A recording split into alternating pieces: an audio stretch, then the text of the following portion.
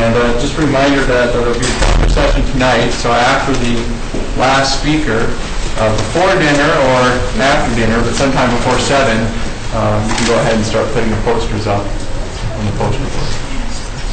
So, Hi, I haven't had a chance to say hello to most of you because I just got in around lunchtime, but I'm very excited to be here for the rest of the weekend. And when given the task of doing the talk on quantum optics, um, I thought, well, we'll see what we can cover in half an hour and we'll see what we can get to. I probably have way too much stuff in here, and your task is to make sure that I don't get to the end of it. I will be asking you for help and thoughts at various times, so you should also jump in and interrupt me, slow us down as much as possible. We'll see what happens. Otherwise, I think this might be kind of like the bus tour where you say, "Oh, there's the Eiffel Tower. Oh, there it was." So let's see. Let's see what we can do. Um, the the one unifying theme here is that we're going to talk about things that are important because light comes in photons. And I want to talk about kind of two main consequences of that. One, a set of complications that occur when you're trying to do experiments that might be inherently classical style experiments where you have an oscillating electric field and you'd like to measure something about the way it oscillates, maybe in an interferometer or maybe interacting with matter, something like that. And what you have to think about more carefully because light is quantized and obeys the rules of quantum mechanics. And then, secondly, a set of opportunities that come along with the fact that light comes in photons and photons are quantum mechanical particles with degrees of freedom that are described by quantum mechanics, and what we might be able to do exploiting that for, for instance, quantum information. Okay. So, light comes in discrete quantities. Packets, so light of a given frequency comes in packets that are indivisible of a certain amount of energy. That's the main message. Here's just an illustration of a photograph of something taken at varying light levels. This was on real film because it was 1953. So it's a little bit debatable what this shows the granularity of, whether it's light or film or what. But maybe just a conceptual illustration that this object was exposed with very low levels of light. And what showed up when the film was developed was this not some really dim, dark, gray, smooth thing.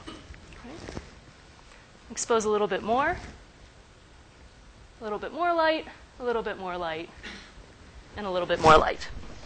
So, what we're talking about is something that on a daily macroscopic scale looks really smooth. You don't necessarily see that there's any granularity to any of this stuff. But if you use small enough amounts of light, you begin to see that something comes in chunks. Here's another illustration, slightly more technical, of that. So, when I'm imagining that most of you have studied this, and what, what sort of evidence is presented in the classes you've taken that light is quantized? Not this one. The photoelectric effect, okay. Historically, that was a big clue. Anything else? The Compton effect, okay.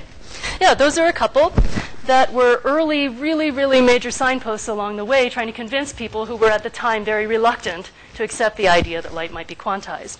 The example that I want to talk about briefly here is a little bit different, something that was hard to do couldn't have been done then and also sort of relies on a conceptual feeling already that light is quantized before you can even start to do this experiment. So maybe you can check that light is quantized by arranging to have one photon go onto a beam splitter and set up detectors to measure reflection and transmission. And conceptually, this experiment is very simple. If photons are allowed to split into two, or into more than two, or into an infinitely divisible set of things, then you should be able to get some light over here and over here at the same time, no matter how you deliver little tiny amounts of light energy over here. But if light comes in individual photons that can't split up, then you should only be, if you send one photon at a time over here, you should only get something here or here and not both at the same time. So this is an experiment that many people can now do in their laboratories, and many people actually can do in undergraduate teaching laboratories. And I think there are many people here in the audience who have a setup like this at home, so to speak. But here's the setup that we use in our junior optics lab at Harvey Mudd. There's a pump laser that pumps a pair of spontaneous down conversion crystals. And all of this is designed to get a single photon at a time to go onto a beam splitter here. Not really a single photon at a time, though. It's difficult to build a machine where you press a button whenever you want one photon, and the one photon comes out. So instead, this experiment cheats in the following way, as many experiments do. It involves something that once in a while produces a pair of photons at 810 nanometers in this case, but of a frequency that you're all set up to go and look for. Um, and the mechanism that produces them produces two at a time so that you can use one, which is traditionally called the idler, just to gate the real experiment. You can use one just to tell you, hey, there's a photon over here, because there's a photon over here. And in that case, you can get what's called heralded single photons over here. And you can do your measurement and determine that if you're sending one photon at a time over here, because you're sending, you're making one pair, and then a little while later, you're making another pair and another pair, that you can measure. We can measure. Other people can do much better, but we measure routinely in the junior optics laboratory at Harvey Mudd. For instance, 500 coincidences per second between this detector and this detector, and about 500 a second between this one and this one. So when there's a photon over here, there's a photon somewhere over here, and it goes here or it goes here. And if you measure when there's a photon over here, how often does light go both ways at the same time? Zero or as close to zero as an experimentalist would be happy to accept. That is, a small rate, like less than half a second on average, that can be explained by other sources of noise that we know about and can calibrate in the system. There's just some details that I'm going to skip about spontaneous parametric down conversion. What I want to talk about first is if light comes in these quantized chunks, we call them photons, they carry a certain amount of energy of the electromagnetic field at a certain frequency. What's complicating about that? From the point of view of kind of a classical view of, say, a traveling electromagnetic wave. So here's a traveling electromagnetic wave moving this way. I might come along and say, I'm going to sit in that plane right there and sample the x component of the electric field as a function of time. So I should expect to see it right now it's zero. If I just sit here and sample, I should expect to see some large positive values and then down and negative and maybe something like this. What else does that curve look like? A sine curve. Mm-hmm.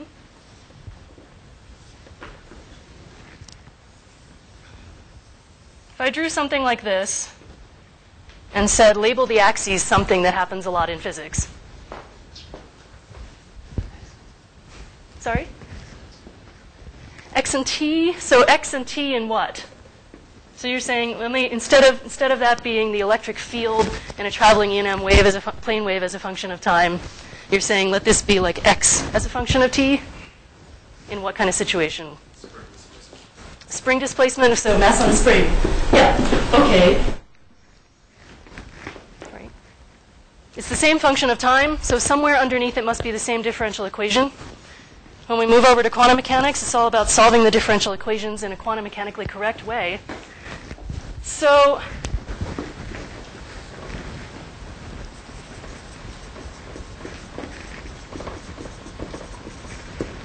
quantum mechanically, we call this what?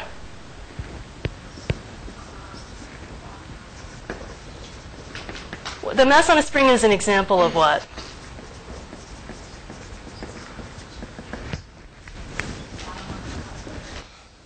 Okay, a harmonic oscillator, and if we turn it into quantum mechanics, then in quantum mechanics you can solve the problem of the quantized harmonic oscillator.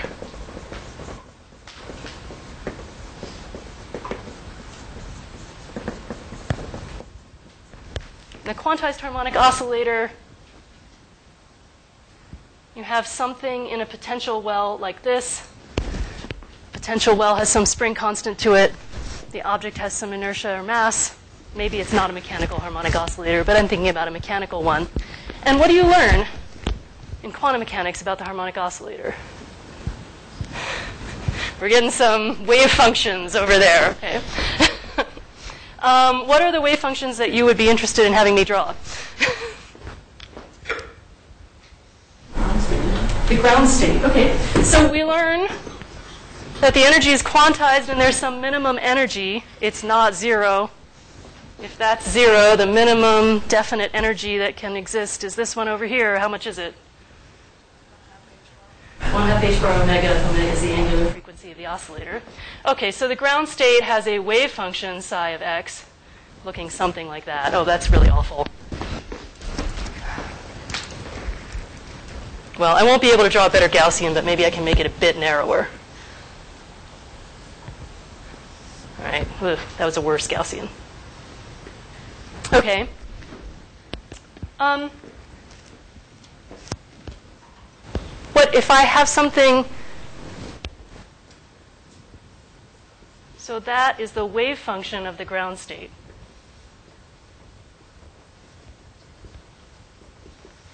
At some time, like t equals zero.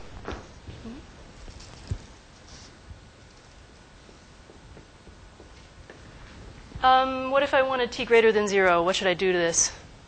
What does the movie look like? This is a trick question. Assuming that I drew the actual ground state wave function, which I will, I will give you that I did not. Right, but, but if this were the real ground state wave function, how do you play the movie forwards from here? It's a stationary state. Isn't there not a movie? Yes, the movie is extraordinarily boring. This is psi of x and t. Right? That's what I was fishing for. That we learn in quantum mechanics that the energy. So first, we've learned that there's an energy, a minimum energy, and it's not zero. And second, we've learned that something that has a definite energy has a wave function that doesn't change in time, or at least doesn't change in time in any significant way. Um, the overall phase will change, but the shape of it won't change, and certainly its modulus squared won't change, so none of the probabilities for the particle to be anywhere will change. So that's what we've learned from the quantized harmonic oscillator in a mechanical world. You probably haven't, or many of you probably haven't, studied it in terms of optics, but I'm now making a hokey argument that anytime you get a sinusoidal function, the same differential equation is obeyed somewhere in the back end of the physics. And indeed, if you work with the equations that govern the electromagnetic field, you can make a lovely mathematical equivalence between them and the harmonic oscillator equations, and then you can quantize the electromagnetic field exactly the same way. And what you learn are some very similar things. So, a photon, remember, is a state of the electromagnetic field with a definite amount of energy. So, first of all, a state with a definite amount of energy is a stationary state. Probabilities don't change with time in a stationary state. So, if you were to take a one photon state and you were to plot that electric field in the x direction as a function of time as that thing went past you, it would not wiggle. Or at least on average, it would not wiggle. If you were to sample it over and over again, if you were to make the same one photon state, send it past, sample it, oh, that doesn't look much like an oscillating electromagnetic field. So, a state that is a state of one photon is not a particularly nice state to go and wiggle something with or to put into an interferometer and measure something with. We also learned that there was a minimum energy and it wasn't zero. So, if we put a zero photon state, that's often called the vacuum. The same thing happens in, in, the, elect- in the case of the electromagnetic field. You don't flatline the electric field as a function of time at zero. You get a non zero variation around zero. There's some minimum energy, and it's not zero. Professor Jones was talking about spontaneous emission. This is why spontaneous emission. In other words, that those hydrogen atom eigenfunctions are eigenstates of the Hamiltonian for the electron and the proton coupled to each other. They're not going anywhere unless some other perturbation comes in and shakes them. The perturbation that comes in and shakes them, that causes spontaneous emission, is the interaction of the electron and the proton with these fluctuations in empty space of the electric field when there are no photons originally present. So there's some stuff we learned by analogy with the harmonic oscillator. It would be nice to still think about doing experiments where there's an oscillating electric field and you measure something, like interferometry, for instance. And so, a question that occurs to me is what kind of quantum states actually do behave like something that oscillates back and forth? And that's a question we can explore in the case of the harmonic oscillator as well. Um, maybe over here. Has anybody studied this? How do you get a quantum mechanical state in a quantized harmonic oscillator potential that actually kind of keeps its shape like a well confined little ball and moves back and forth? Maybe nobody has. That's okay. They're called coherent states. So I will tell you by fiat that what you can do is take that ground state wave function, exactly the same size and shape as the ground state wave function, and you can either give the whole thing an initial momentum that's not zero, or you can displace the whole thing from the center, depending on how you want to start your initial conditions at t equals zero. You can just take that ground state wave function and either translate it over or kick it a little bit. And it will give you something that keeps its shape and just oscillates back and forth. So I can make a little bit of a hokey argument for that by saying, uh, let's say that I put a little Gaussian shaped wave function up here. It wants to spread in quantum mechanics. So I should be worried that it's going to do this. But here, where it's on the way down, the back part is experiencing a higher slope than the front part. So it wants to spread, but because the back part is accelerating downwards faster than the front part, it also wants to recongeal. And those two effects in this size and shape of Gaussian wave function exactly, exactly balance each other in a beautiful way.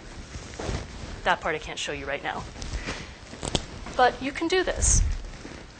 And you can do this to write down a mathematical state for a coherent state of light as well, in which, well, if you don't have a very large amplitude of light, it looks like that.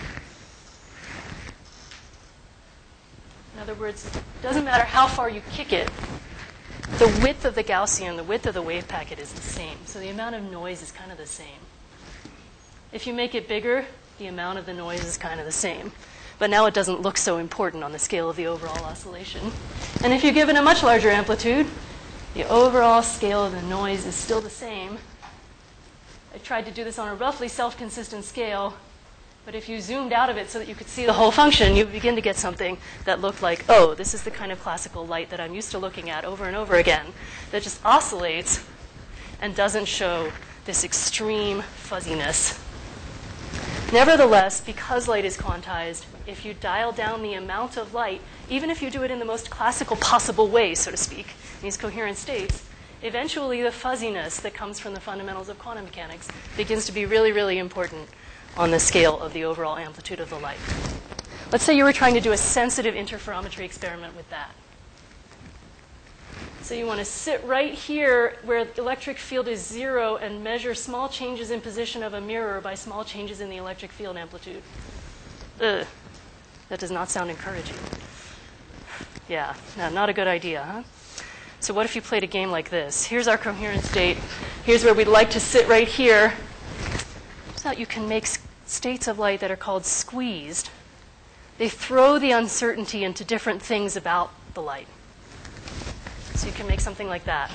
You can sacrifice a whole lot over here to get really nice precision right here where you might be interested in.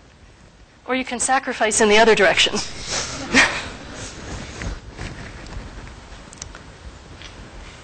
Or you can take that vacuum, which seems like, okay, the vacuum, it's not a big deal.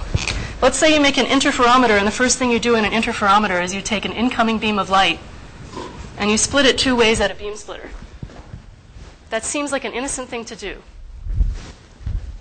But what did you put in over here on this input port of the beam splitter?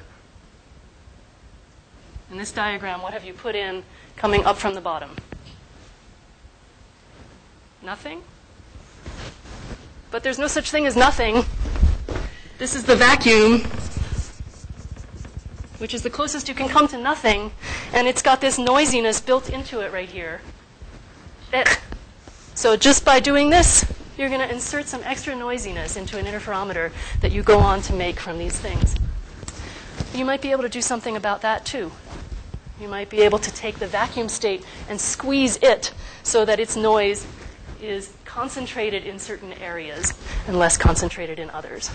So there are numerous people in this room who know a lot more about that than I do. But I wanted to try to mention it and talk about it as kind of the first piece. The second piece is going to have to go pretty quickly. I think I have almost 10 more minutes. Yeah, okay.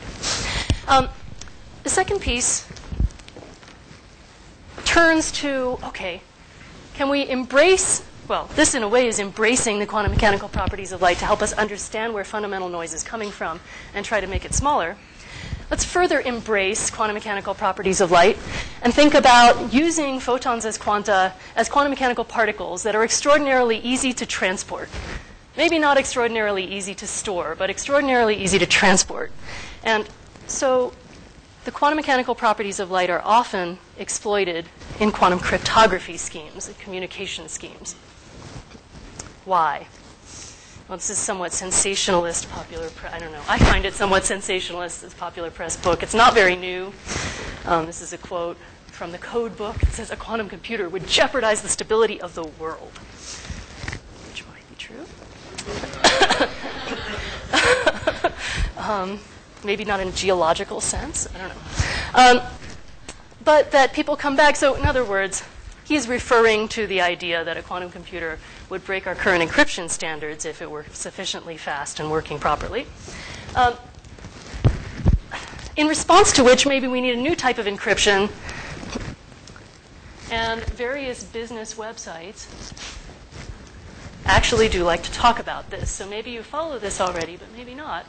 Here's a business website, it's probably from about two years ago. It says Race Against Time Securing Our Future Data with Quantum Encryption. Your data are encrypted, but when somebody builds a quantum computer, they won't be, so you better invest in quantum cryptography now. If you don't want people to read all of your encrypted stuff in 20 years, is what this business website is saying to its readers. So people work on this stuff, real companies, major governments. Um, here's one way that we can, here's one system in which you can do some quantum encoding of information and sending it along to people. Polarization of light, which is a nice, again, classical property, but which we can also think of as a spin state of individual photons, or the polarization state of individual photons. So here's light, it's traveling out at us. We're going to talk about horizontal and a vertical polarization that we're going to denote like this. Some of you might not yet have taken a quantum mechanics course in which quantum mechanical states are written in this type of notation. How many have not taken a quantum mechanics course like this? Yeah, okay. You'll get there. It's the most fun thing. Okay. so this is called Dirac notation. Short, short, short, short. Look, these funny little brackets, this funny little thing is called a ket. What goes inside is the label for what state the thing is in. So this is a photon in a horizontal polarization state, a photon in a vertical polarization state. Polarization, just like any quantum thing, you can have superpositions of it. So here are two interesting superpositions. One I want to call 45 degree diagonal, and the other I want to call 45 degree anti-diagonal. This is a lovely geometric example of a simple quantum system because you can really see geometrically indeed what these plus and minus signs are doing to create really different states. Complex numbers, as we know, are allowed in quantum mechanics. Here's right circular and left circular polarization. We can measure quantum states can measure these quantum states in, let's say, the following way. If we want to measure in the horizontal vertical basis, let's just use a polarizing beam splitter that's really good at transmitting only horizontal, reflecting only vertical. If we want to measure something else, let's just use that polarizing beam splitter again, for instance, but let's use a half wave plate in front. What the half wave plate does if you're not used to thinking about them all the time, is it mirror images every incoming polarization around the special axis that's marked on the half wave plate. And so you can use that feature to turn any set of two orthogonal polarizations into horizontal and vertical so that effectively this whole setup right here ends up transmitting one of your polarizations and reflecting the orthogonal one. So you can change basis like that. And you can use a quarter wave plate if you're interested in measuring in an arbitrary basis that maybe has some eyes in it. Okay. You can get entangled states of these polarizations. So you can write down, if you have two photons, called the signal and the idler, for instance, just as we did before, we can write down states of the signal and the idler. So here are four of them. But we know there can be superpositions. So here's a superposition. The superposition is kind of innocuous. It's the signal is horizontally polarized and the idler is horizontally polarized, or the signal is horizontally polarized and the idler is vertically polarized, with the following distribution of probability amplitudes and sign in between those two terms. But what's, what's innocuous about this, though? What's, what makes this really innocent and not a terribly disturbing quantum mechanical state? Hmm? Like the square of that would be constant. Oh, so are you saying it's properly normalized? Like if I were to say, what's the probability of finding, say, any of these four options, and I would go through, and the probability of this would be one half in this state, and the probability of this would be one half, and these two would be zero, and we'd add up to something sensible.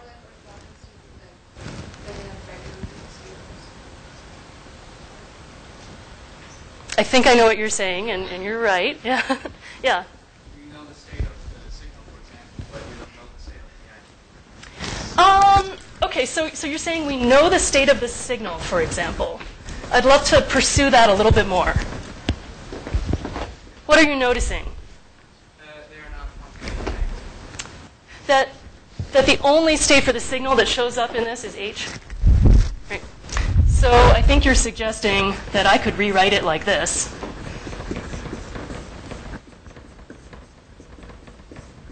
I could factor out the state of the signal photon. It's written like it's something kind of complicated, but actually, for sure, in that particular state, the signal photon is horizontally polarized. And then once I factored it out, what does this tell me? Whoops, that belongs out here. What does that tell me about the Idler photon? I need another parentheses. It's a super, particular superposition of horizontal and vertical. Is this an undefined polarization? It's just 45 degree diagonal, yeah. This is a different state, but it's not inherently, I think, a much more interesting state than the ones up above. It's just written in a basis that makes it look a little complicated. That state, though, that state is special. Right. You can't factor it. I can't factor it. You can't factor it. It doesn't factor out. This state, unlike this one, does not have a description in terms of the signal photon is this polarization and the idler photon separately is this. This is an entangled state in which the individual particles, the two photons, don't have definite properties at all in any way whatsoever. All they have is the nature of the correlation they share with one another. So here's a little hint of how that might be. Right? I wrote this down because I had shown with the geometry on a previous slide that 1 over root 2 h plus v equals d. If you take, if you haven't done this before, I urge you to do it. Everybody should do it at least 10 times in their lives. You should take this entangled state. You should substitute into it, every time there's an h, you should substitute in the way that horizontally polarized state expands out in the diagonal anti-diagonal basis. And every time there's a v, you should write in what that looks like in the diagonal anti-diagonal basis. You should multiply everything out, collect and cancel terms, and get that. So this state looks to me visually the first time I look at it like, okay, no biggie. These two photons, either they're both horizontal or they're both vertical. We just don't happen to know which for a given time that we measure. But that's not even a particularly nice description because if I asked about it in this basis as well, no, now it looks this exactly equivalent state looks now like, oh, either they're both diagonal or they're both anti-diagonal. And I could write it in any other basis, and it would show an equal degree of correlation. Or maybe of anti-correlation if you started writing it in circular polarization bases. So this is called an entangled pair. Here are three other mutually orthogonal to the first that are also perfectly entangled. This is called the Bell basis for a pair of two-state particles. And in all of these states, they share this nice property that any individual particle has no definite state. So if you take any single particle, any measurement you do on a single particle from this pair, totally random, you will gain no information from that. All the information is in the way that they are related or the way that they are correlated to one another. I'm going to skip over a bunch of stuff real quick because what I want to end with is to show you a particular quantum communication protocol that might make use of those properties. Okay, that's not what I wanted to do. Hello? Here. There we go. Okay. It's called quantum dense coding, just to give you an idea of what this might be useful for. So here's Alice and Bob. Alice lives in Arizona, and so does Bob, but Bob is moving away. I just had this realization that states don't start with B. Where's Bob moving? Boise? Baltimore. Baltimore's, Baltimore's further away. All right. Bob is moving to Baltimore, and they hang, they spend their last night together in an apartment making entangled pairs of photons. right? So they make a whole bunch of pairs in states like this, and because they want to communicate with each other secretly, and there's this person, Eve, who's kind of been stalking Bob, and they don't want their correspondence in the future to be overheard by Eve, but here they are. They make a whole bunch of pairs like this, and Alice keeps the signal, and Bob takes the idler, packs them all in his suitcase, or his tool belt, as the case might be. All right, puts them all in his tool belt, and he goes to Boston. No, Baltimore. Sorry. He goes to Baltimore. And there he is. And now they have this great way of communicating with each other very securely, because here's the scheme. Um, Alice can only say four different things to Bob. So they agree. I, I, asked my research group, and these are the messages they came up with. So this was like, I don't know, a year ago or something. um, you know, said if Alice can only say four things to Bob, like here they are. I love you, I miss you, the packet, I don't even get this one. and it's over. All right.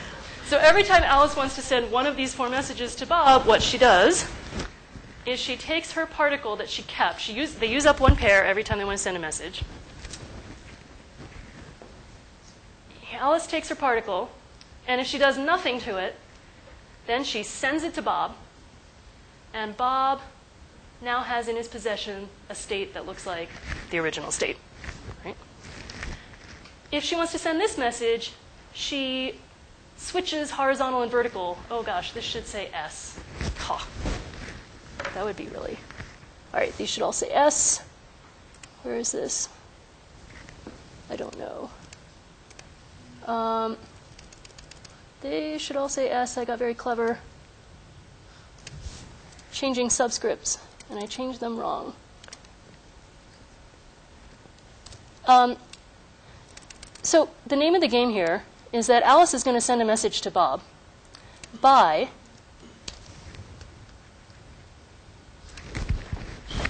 sending, by changing the state of her particle alone, and then sending it along to Bob.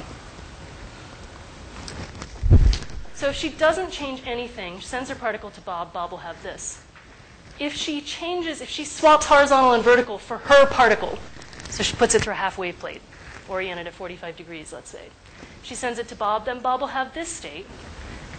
If she just takes her vertical and phase shifts it by 180 degrees or it multiplies it by minus 1, then when Bob gets her package, it will be this. And if she does both of those two transformations and then sends her particle, then the state Bob ends up with is this. And these four states are all perfectly entangled. They're all mutually orthogonal. So in principle, Bob could measure which entangled state he has now and decode which of these four messages. That's notable for two reasons. It's, it's dense for the reason that a message was transmitted by Alice ultimately sending a single particle, which in and of itself is only a two state particle. And she can send one of four different messages on this. And it's secure because if Eve intercepts, eh, it's not Eve. Try Googling for a good picture of Eve. Uh, Um, if Eve intercepts Alice's particle, she will learn nothing at all by measuring the state of Alice's particle. Because remember that any measurement on one of the single particles is completely random anyway. So if Alice does these different transformations, she changes one randomness to a different randomness. There's no way that Eve, by measuring only Alice's particle, can tell anything about what Alice meant to say to Bob. So they've achieved their goal of being secure. In, princip- in practice, there are a bunch of different challenges with this um, that I don't have time to get into, but this will give you just a little bit of a flavor of why quantum entanglement of photons might be an interesting thing to do in a quantum communication and cryptography, cryptography scenario, and how simple in principle it can look.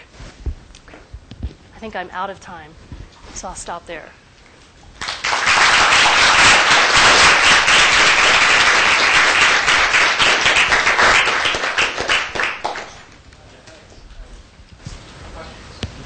Yeah.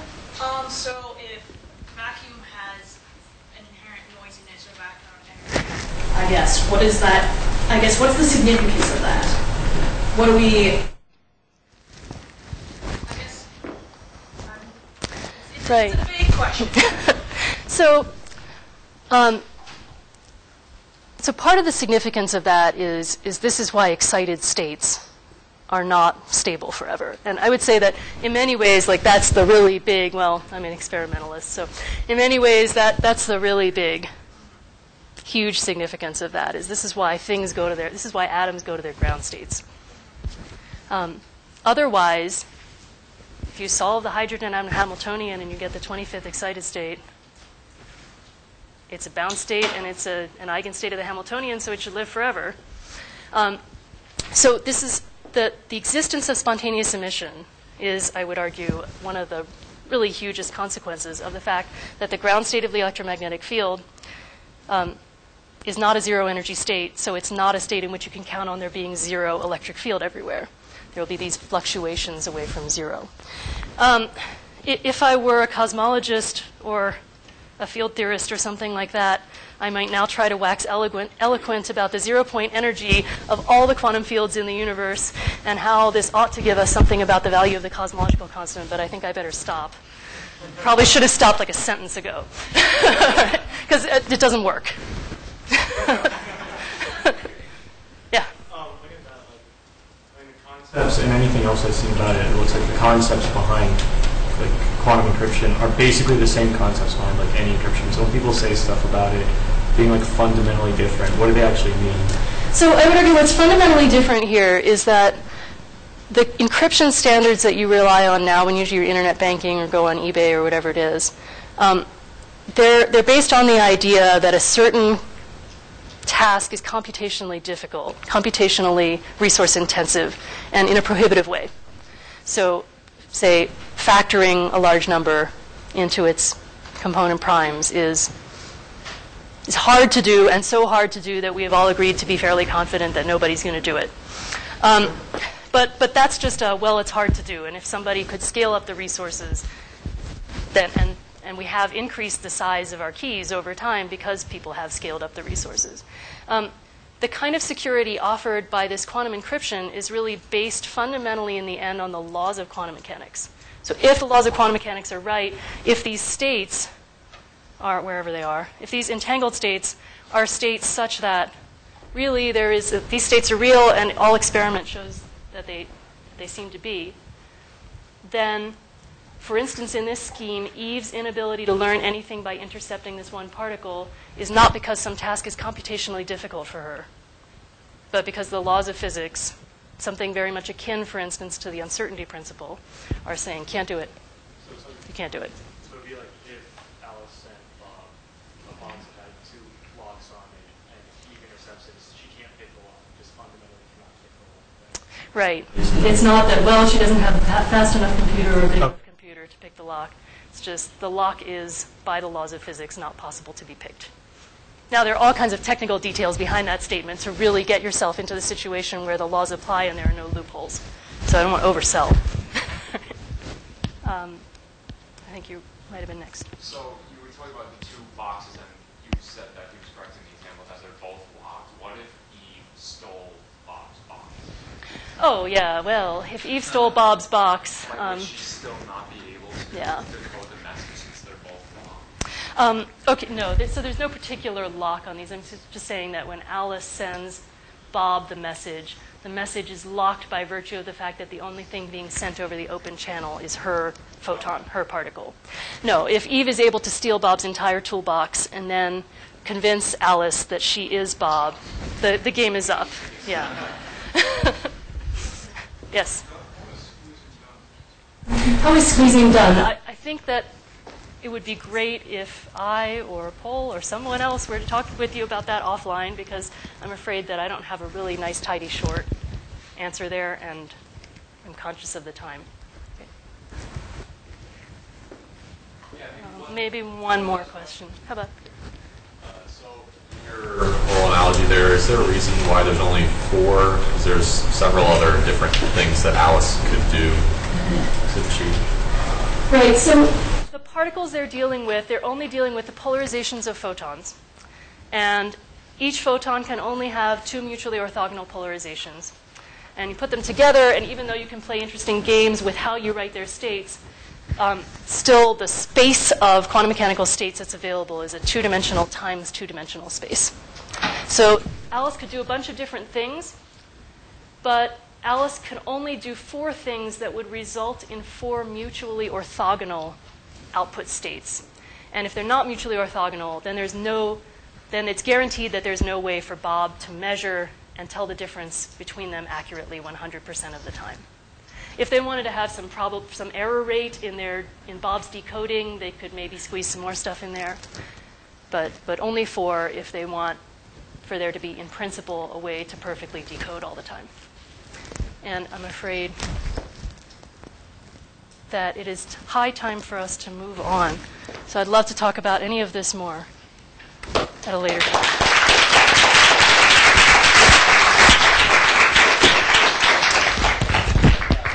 Great question. We continue uh, the questions talking after uh, break. Uh, on now, uh, Last talk. Gotta give them the two. Uh, biosensing.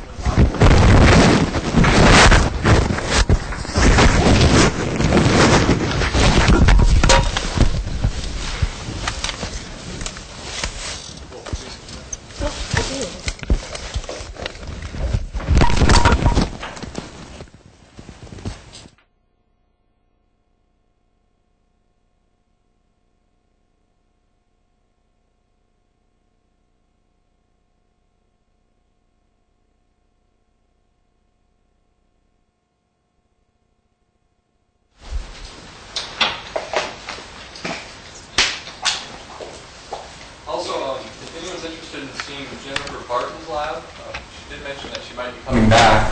Uh, I think a couple people have asked, um, at 5:30. So we'll try and find her. Um, that's the word the street at least. And it's a little bit of a walk, so I think she'll be able to drive a couple people over to the lab. So keep an eye out for that if you're interested in seeing her lab.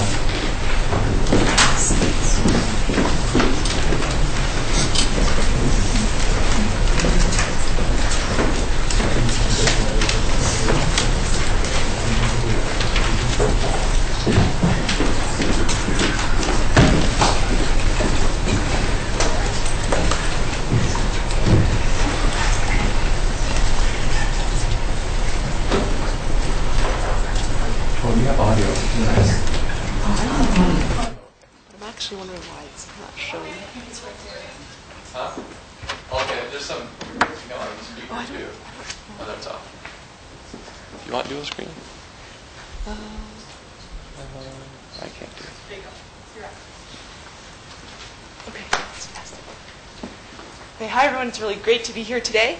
Um, so you've heard a lot of um, great talks about how prevalent optics is in our everyday lives.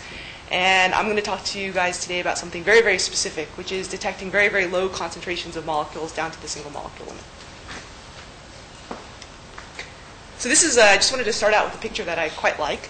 So this is a picture of the world at night. Um, it's an electric lighting map, and you can see that more light correlates with more prosperity. So you can see that light is important for prosperity on a global scale, and it's also important for single molecule detection. So first of all, you might ask yourself, why is it important to detect single molecules? So it's important for both fundamental and applied studies. So first of all, one important fundamental study is looking at transient states of protein, of protein folding. And you might ask yourself, why is this important? This is important because form dictates function. So if you could understand how a protein folds, you might be able to control how it functions, and this has a lot of implications.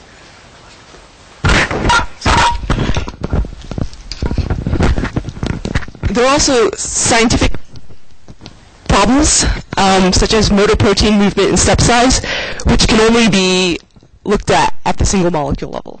I don't know if That's for recording.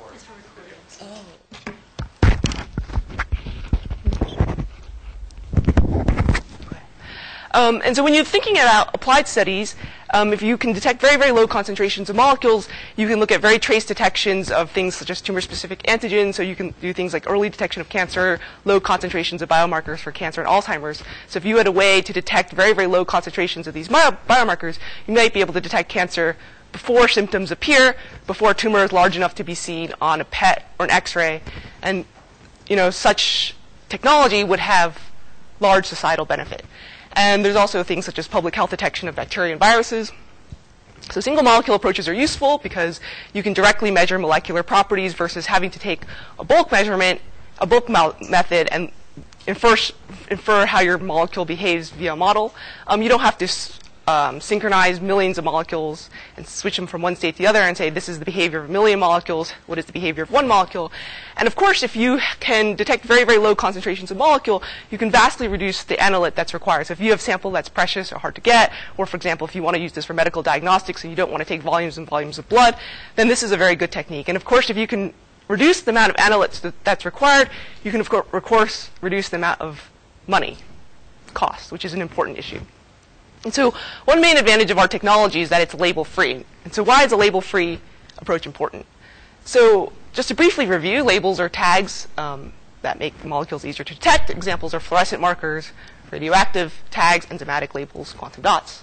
But they're expensive. They can be difficult to generate.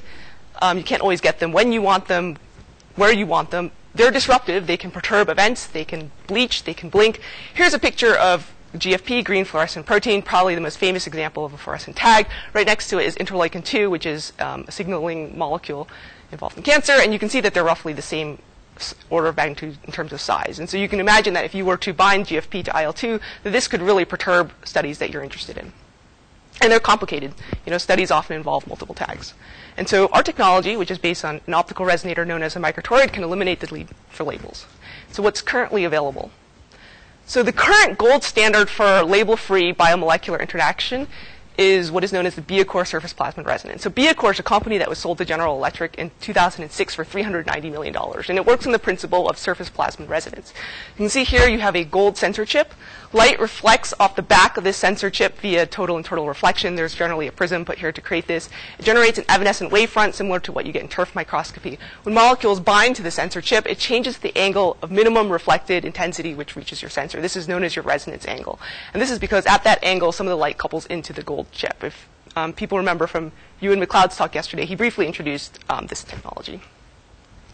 And so the Biacore actually has a lower limit of detection in the order of nanomolar. This is an experiment I did in which I bound streptavidin, which is a protein, to the surface of this gold center chip. And I started out at 316 nanomolars of biotinylated protein G. This is a protein that has a biotin molecule conjugated to it, that, which is going to bind to the streptavidin.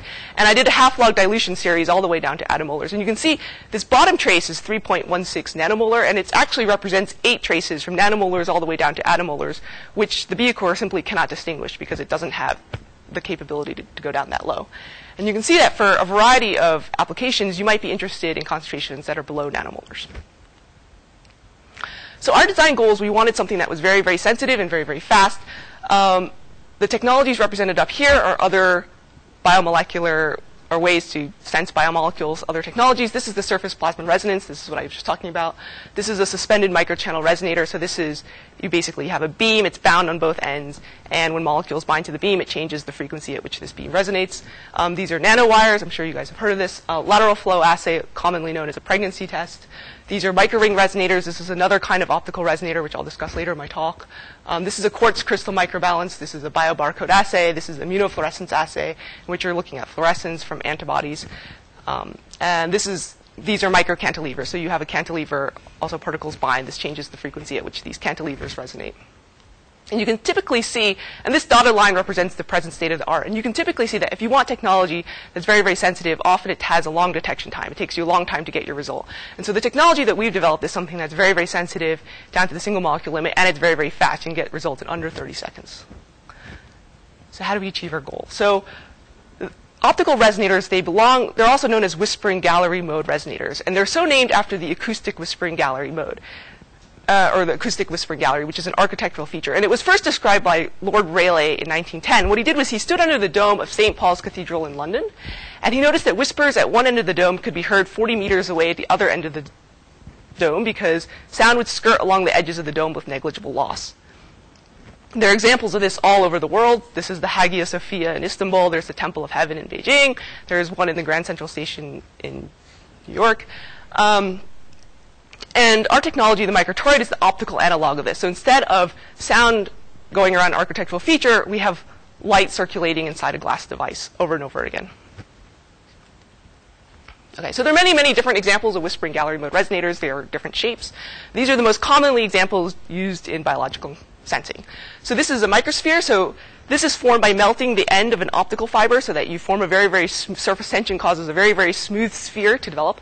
Um, this has been doped with the rare earth element erbidium so that you can see light orbiting within the sphere.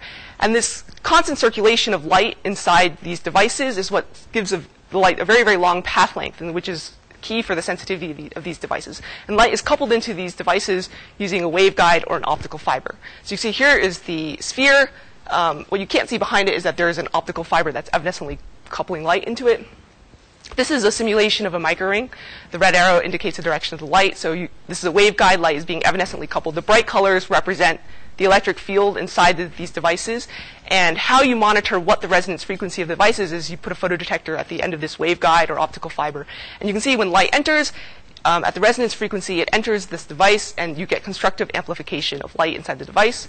And when it exits, um, it undergoes a phase shift because it has gone through a round trip inside the device. It comes out, it destructively interferes with the light going through the waveguide or optical fiber. This drop in intensity is how we monitor what the resonance frequency of these cavities are.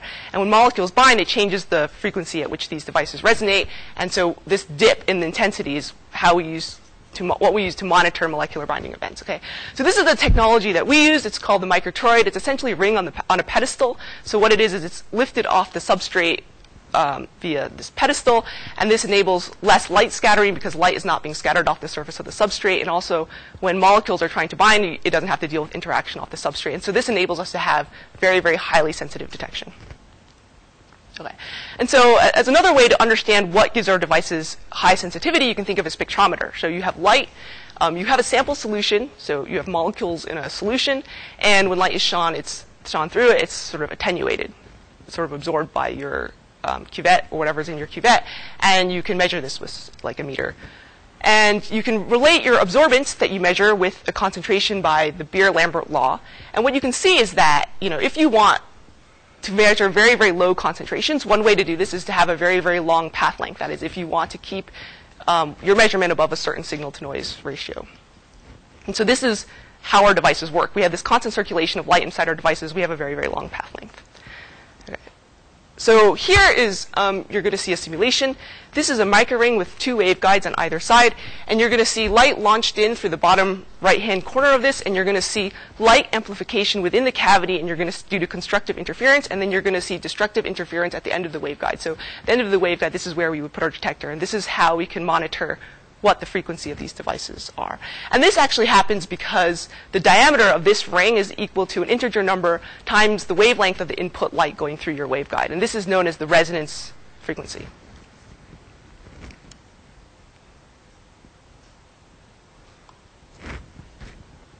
So you can see an intensity drop because light is going through your resonator, and also an intensity drop because of destructive interference. You see the second path, you can see the light getting brighter within your device. And this drop in intensity is how we monitor the, the frequency of this cavity. So this is just a picture, a scanning electron micrograph of our resonator toroid. They're about 80 to 90 microns in diameter. Um, this is a cross section. It has a dumbbell cross section.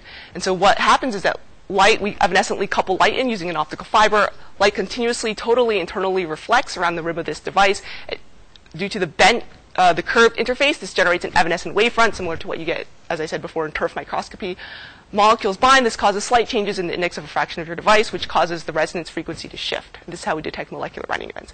So just to give you some numbers, our devices have a photon lifetime of 270 nanoseconds, and this time light goes around our device 270,000 times, or 68 meters. So it's like a cuvette that's 68 meters long, and it could fit inside your pocket. It's very, very small. It's about 100 microns in diameter. And so we have very, very high sensitivity. And so why does the wavelength shift? The Theory for this has been around for a very, very long time since 1945. It's, there's a field known as cavity perturbation theory, which tells us how the resonance frequency of these devices shift when a particle binds and perturbs the cavity. And it's basically the polarization of the particle. So when a particle enters the evanescent field, it's polarized by your cavity. Cavity expends energy to polarize the particle. This causes a drop in your resonance frequency. This is something that was never really tested before at the molecular level because your signals were masked by noise. And so what makes these particles very, very difficult to detect? Well, one is that your signal strength scales as r cubed. That means it scales as your particle volume, which means it's eight times as difficult to detect something that's half as small. So to detect a 2.5 nanometer radius particle, which is on the order of a single molecule, you would need to resolve a wavelength shift that's less than 0.006 femtometers. So that's one part in 10 to the 12th. So to give you some comparison, for those of you who are wearing watches, some of you guys might have a quartz crystal inside your watch. So those are accurate to about one part in 10 to the 6th. So that's one second in a month. So this would be one second in a million months or one second in 100,000 years. And as a point of comparison, a Rolex, which is advertised as the best mechanical movements ever, has an accuracy of one part in 10 to the fifth, but at great expense. You'd pay like around thousands of dollars, like $8,000 for a Rolex.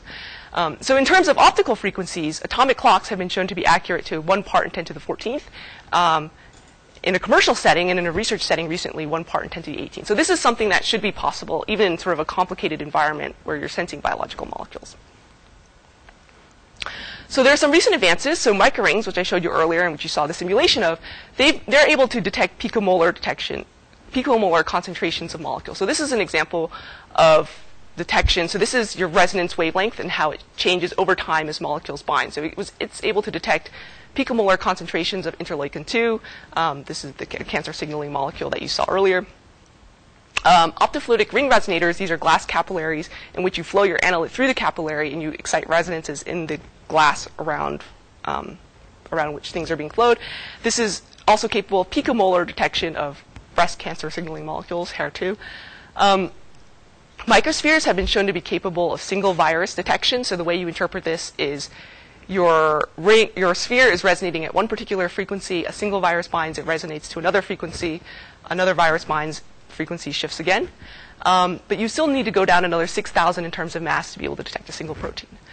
Uh, so about five years ago, six years ago, the microtoroid was shown to be capable of detecting 25 nanometer polystyrene uh, beads, but you still need to go down another factor of 100 in terms of mass to detect a single protein molecule.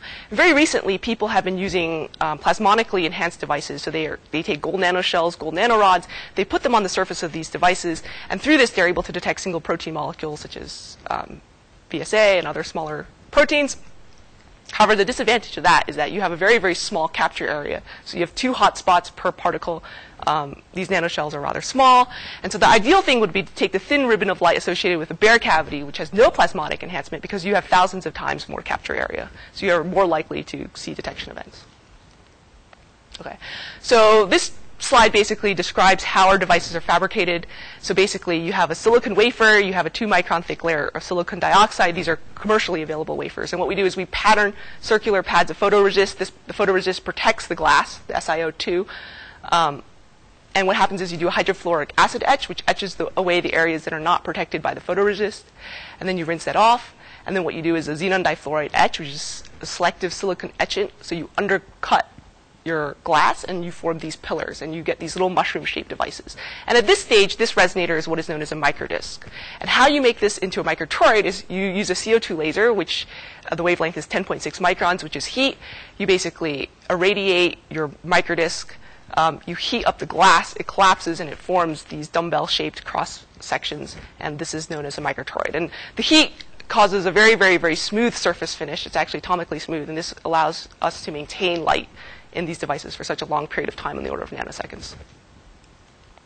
And another interesting thing about the toroid is it allows for um, wafer-based fabrication. So ideally, this allows for the potential of multiplexing, which means that you can do multiple experiments in parallel. So you can imagine that if you were to use these devices for medical diagnostics, you would have an array of these devices. Each device would be functionalized with a different capture agent for a different biomarker that you're looking for, right? So you could do like uh, disease diagnostics of a variety of different diseases, like you know, do I have Ebola? Do I have Zika, et cetera and very, very quickly.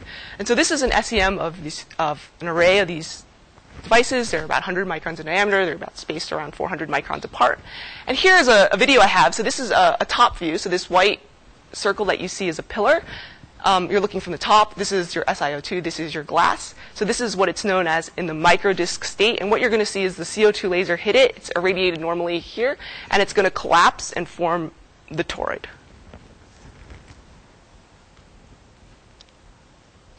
So, and where it flashes bright white is where it gets very, very hot.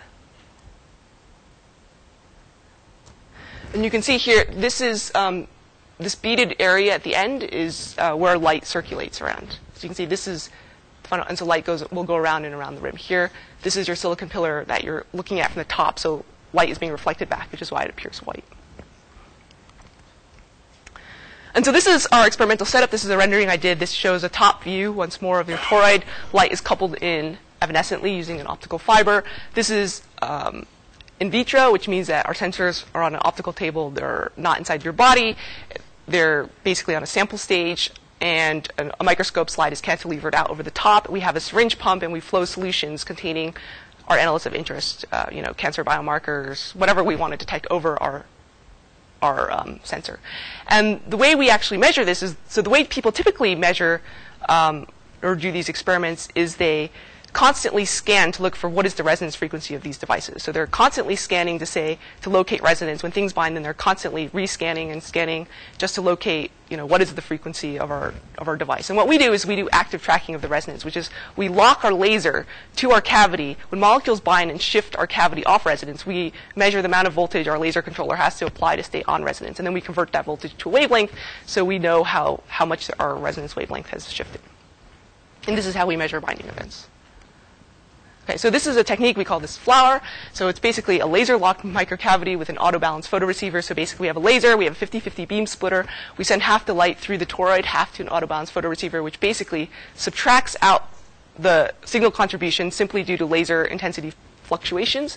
Um, this signal is multiplied by a dither signal, so your laser frequency is dithered in a very, very small region around where your resonance frequency is. So we know, are you on resonance, are you off resonance? And based on that, it generates an error signal, which is fed into a proportional integral derivative controller, such that you can reach the set point that you want, your desired set point, as quickly as possible. And this is fed back into our laser controller. And this has several advantages. One, you're consistently sta- you're continuously staying on resonance in- instead of sweeping past resonance and this enables us to sample more points per second, which enables more averaging. So this is an example of some raw data we have. These are um, exosomes. Exosomes are about 30 to 90 nanometers in diameter. They're basically shed by all cells, but they're recently attracted particular interest because when they are shed by tumor cells, they have tumor-specific antigens on them, and so they can be used as biomarkers for cancer. And the idea would be that um, they're shed into your bloodstream, and so you could just take a drop of blood, so you're exploiting the circulation of your blood, and you won't actually have to find or access tumors. So you don't have to uh, have surgery. This is known as a liquid biopsy, and has uh, tremendous advantages for people who, you know, obviously don't want to go under anesthesia and have surgery. And so uh, what you're seeing here is you're seeing, so this voltage is later converted to a wavelength. You're seeing, so your toroid is at one frequency, when a single exosome binds, it shifts to a different frequency. Another exosome binds, it shifts to a different frequency. So these are, represent single binding events. And these burst-like events are what we interpret as um, exosomes trying to bind onto tor- incomplete binding events. And so this is just all the filtering that we do. So we remove known signal sources of noise like 60 hertz, or the dither signal that we apply is 2 kilohertz, etc. Um, okay, so these are just some experimental results. Um, this is a signal from 10 nanometer radius beads. This is already better than what anyone has done before. These are polystyrene beads. So once again, you're at one frequency. a bead binds, it shifts to a different frequency. And so these, in this case, these are polystyrene beads, and they're simply binding by the van der Waals interaction of these particles landing on your resonator. And what happens is that we can get a histogram of these binding events, and a histogram occurs, you get a variation in size for two main reasons. One is that when you buy these beads, they have a certain size variation. You have a certain size distribution. So this in, in itself leads to a histogram of binding sizes. The second is that the, this is a simulation, so once more, this is a dumbbell cross section, is that your intensity of light within the device, um, it's greatest at the center and sort of falls off on the sides. So you the signal that you see, the resonance wavelength shift that you see, is proportional to the intensity of light within your cavity. So when particles bind here at the center, you will see your cavity will undergo a larger resonance shift than when particles bind on the side. And this is also what generates the um, this histogram. And so what we do when we do comparison with theory is we just look at the largest wavelength shift because you can never get a value larger than what lands at the equator. And this is what we use to make our theoretical um, comparisons. And so we actually get fairly good uh, theoretical agreement. Um, this is an example of a ribosome. So once more, you know, we see this, these sort of steps corresponding to the binding of individual ribosomes. And if you look at the, the dwell times, the time in between each step, it follows a exponential distribution, which is what we would expect for independent events arriving in time. And this is um, very small. This is human interleukin 2, so this is about a radius of 2 nanometers or about 4 nanometers for the whole um, protein. And when you zoom in, you can see these very, very tiny, tiny steps, which the height of which corresponds with what we would expect from theory. And we've also done experiments where we vary the concentration. We can see that the number of these steps scale with concentration, whatnot, which is what you would expect if these steps were due to the binding of individual particles. And so this is uh, just a graph showing our theoretical and experimental agreement. The different colored solid lines represent the different dielectric constants of our particles. So you see the black represents polystyrene, the blue represents silica, um, the green for proteins. Our dielectric factor is given here. It's basically a difference between the index of refraction of a particle and the index of refraction of the surrounding media, like whatever it's in, like saline solution, etc. And so it's also interesting to note that this, well, okay, let's see. So our results agree very well for variously sized particles. So this was one of the first examples that I did was, um, this was our first sort of medical application, which is we took mice, we implanted them with human tumors. Um, these were lymphoma tumors, and we looked at um, exosomes in the blood. So we took one microliter of blood and we diluted it a million times in saline and we floated over the surface of our resonator. So basically, as I explained before, um, tumors secrete exosomes, or all cells secrete exosomes, but exosomes in particular have tumor-specific antigens when they're secreted by tumors. And if we can quantify the amount of the concentration of exosomes, we can determine is a tumor present, how far has a tumor um, grown or progressed, without actually having to find or access the tumor. So what we did was every week we let the uh, tumor grow. So we chose a very, very aggressive tumor so that it would grow very, very fast. And every week we uh, took samples and we froze down all the samples and then we flowed them all over a resonator sequentially.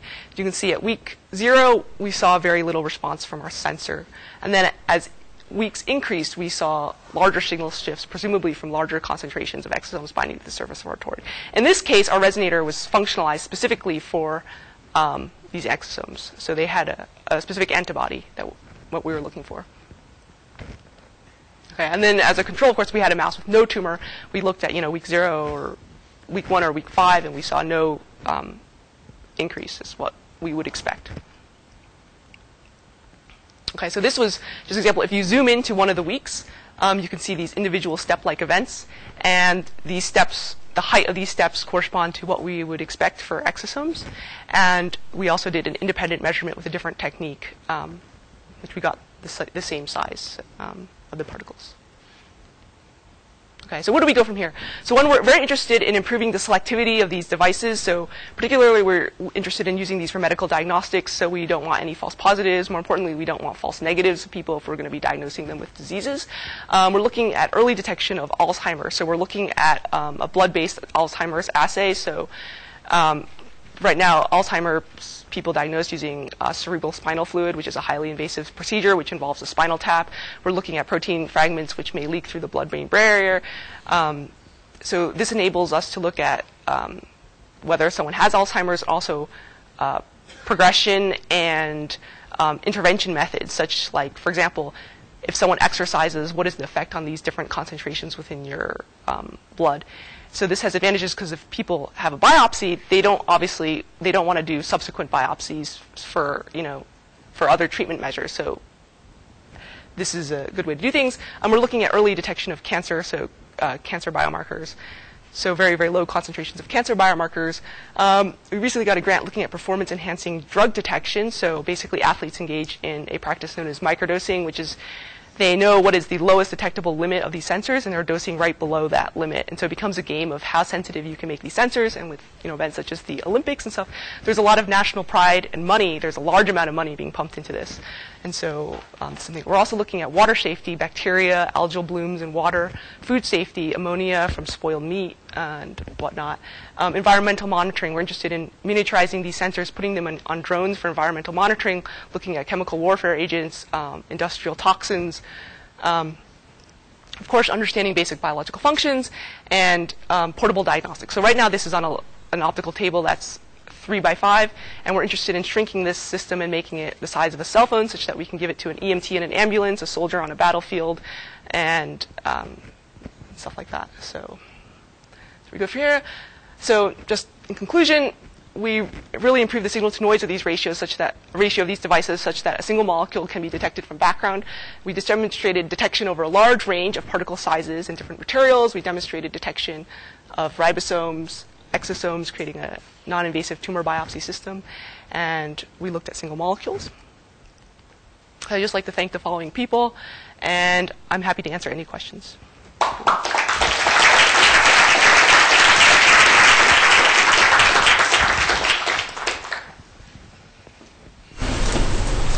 Yes. So, so concentration is related to the total resonance shift, Yes, yes, exactly. How do you target a certain molecules. Uh, so, different ways. So, in, th- in this case, um, for the exosomes, we're using antibodies. So, we selectively pick capture agents for what we're interested in detecting. So, antibodies, but you know, it could be. We could also use DNA strands, aptamers, variety of other ways. So, the, the surface is glass, so it's easy to functionalize with um, standard methods that people use for functionalizing glass surfaces. So uh, just about how do you get from um, from molecules attaching to the bead to the concentration? Is it the rate by, uh, at which they are attaching, or particularly when you have very small concentrations and only can get you know 10 molecules? Like how do, how do you how do you get the concentration information from that binding? Yeah, yeah. So exactly. So right now, what we do is um, when we flow in like pure solutions, so we know a priori what the um, what the concentration is, is that we're flowing in. Um, eventually, when you're getting down to single molecule level, you can count. You can do counting of like the molecules, and you might have to actually do some modeling of the of the fluid flow around your resonator to get some idea of the concentration. But the way you do it is you make a calibration curve. So you flow in known solutions, you see what your resonance shift is, and then eventually you build up a calibration curve, and then, then you put in an unknown concentration, and you see where does this shift lie on my calibration curve. So you don't have to theoretically figure out the No, it actually probably is actually the easiest thing to do is just to experimentally make a calibration curve. Yeah.